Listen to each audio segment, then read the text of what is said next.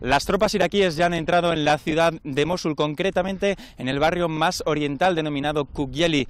Además, los vecinos de esa ciudad de Mosul han incrementado su resistencia contra los terroristas del grupo Estado Islámico y se están enfrentando a ellos en otros barrios más interiores de la ciudad. Uno de los líderes de esos grupos de vecinos, denominados Caballeros de Mosul, ha dicho a EFE que la gran mayoría de esos terroristas del grupo Estado Islámico ya han abandonado la parte oriental de la ciudad. Por otra parte, aquí en Basua en esta localidad vecina a Mosul, que fue liberada ayer. La guerra ha dejado su huella.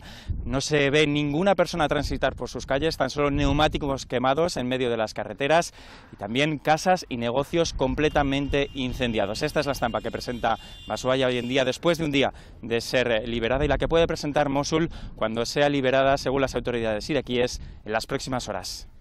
Informa para la agencia EFE desde Basuaya, en Irak, Edu Marín.